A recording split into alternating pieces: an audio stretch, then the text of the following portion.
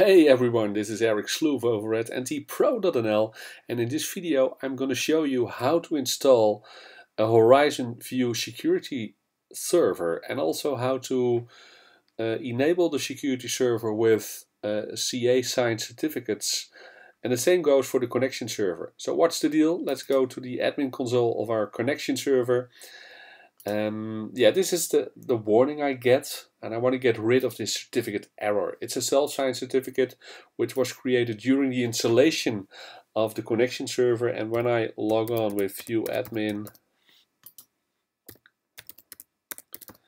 and I provide the password and I go to the dashboard of my uh, connection server, then you will see a red status at servers.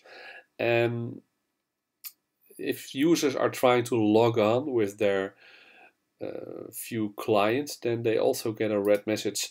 What we see here is that the connection server is showing red because yeah, uh, it's not configured with a trusted certificate. On the other hand, my student desktop is a replica server which is configured with a valid certificate and that one shows up green. I want to have the same for my connection server. Before we start with configuring certificates, I first want to install a security server. So let's go to the server section right here. And what we see at the connection server tab is that we have the connection server with the unsigned certificate and the student server with the signed certificate. I'm jumping to my security server RDP session and this is where I'm going to kick off the installation of the security server. So that's it's easy. Uh, the only thing that we have to do is provide the fully qualified dom. Oh, that was too fast. the only thing we have to do is provide the fully qualified domain name of the security, the connection server we want to hook up with. And after that, we have to pair the security server and the connection server. And then we're done. So let's see if it works. The passwords must be generated on the connection server. So if I go to this connection server and I go to more commands, I can specify a pairing password. And I also, uh, I'm able to uh, configure how long this password will be valid. 30 minutes should be enough. Okay, let's go back to the security server. Password. Okay. And now the installation will continue and there is a pairing between the security server and the connection server. Typically the security server is hosted within a DMZ and um, it's not a member of Active Directory and um, yeah that's why you can uh, use it in uh, a less secure environment.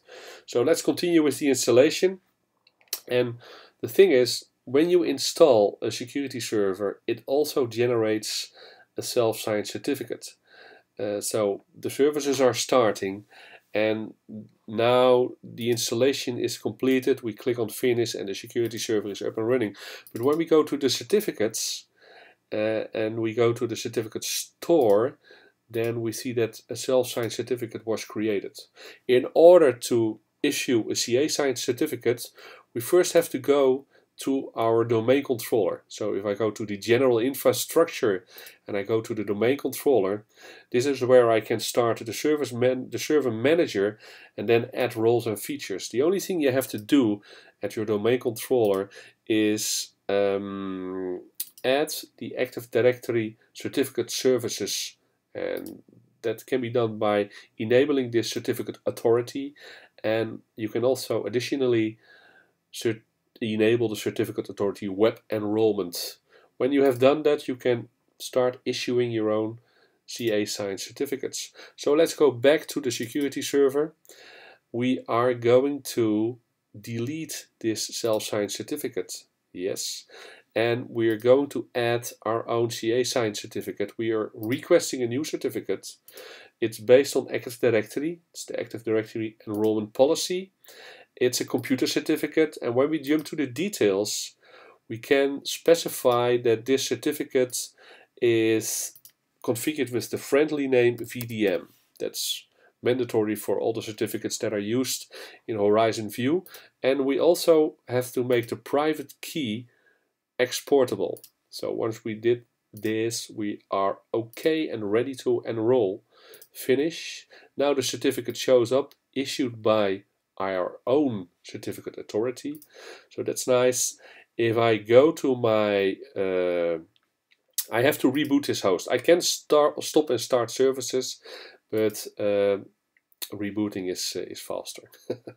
so restart the connection server. Let's go, or let's restart the security server. Let's go to the connection server and let's do the same trick, guys. So if we go here to our certificate settings, and this is also the self signed certificate. We are removing this certificate. Delete. Yes. And then we're going to issue a new certificate for this connection server. So request a new certificate. And again, it's an Active Directory certificate. And we go to create a computer certificate. And we have to go to the details, to the properties, configure the friendly name VDM, Virtual Desktop Manager. That was the name of Horizon View 10 years ago. Uh, the key components uh, make this key exportable. Okay, enroll. Finish. So now we have created two CA signed certificates and also here we are going to reboot the connection server. So let's restart this guy here. Um, let's go back to the security server. Um, and let's see if it's up and running already. Well, it seems to be up and running, but sometimes it takes a while until the daemon actually is running. So uh, yeah, it looks okay. It's initiating. What we eventually want to do is connect with this Horizon client in a secure way to both the client to both the security server and the connection server. So this client uh, is configured with the connection server and the security server. And when both servers are available, I want to get rid of the annoying red warning in HTTPS. I want to have a green lock in my connection. So let's see how the connection server is doing. This one is also up and running and we give it some time to start all the daemons responsible for horizon view and uh, after the daemons are started we can try to log on to the administrative interface of this connection server. So let's log on to the connection server and what you immediately can notice is that there is a little lock here and this lock is indicating that we have a signed certificate. We can view this certificate and this is the same certificate we've created with our own certificate authority, the vclass.local certificate. So when I provide the username and password, you can see that, um, yeah, let's take a look at the dashboard. So the dashboard shows us that the connection server is green, the student server is green, and also the security server is green.